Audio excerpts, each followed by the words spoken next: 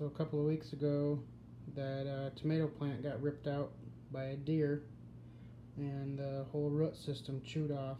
So um, there were these herbs in a in a jug of water, and I decided that I would just trim up the stalk a little bit and throw it in the water. Check that out. Look how that thing rooted.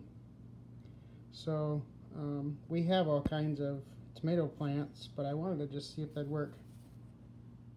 So I've got this pot, and um, I'm gonna throw that tomato plant in and see if it takes back off again. And there we go. I want to make sure that this gets plenty soaked.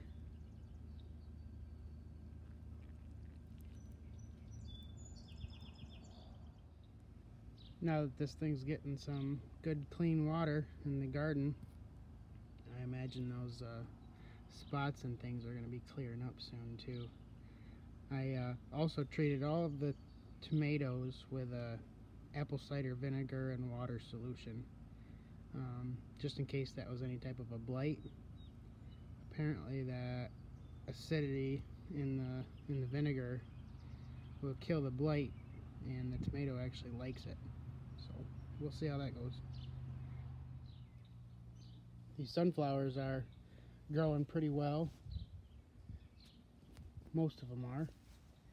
That one's been in the ground as long as the rest of these. And it just like stunted. Um, those two got picked out by birds or maybe a chicken that got into this fence. But we just replanted those last night with some some more seeds that we started.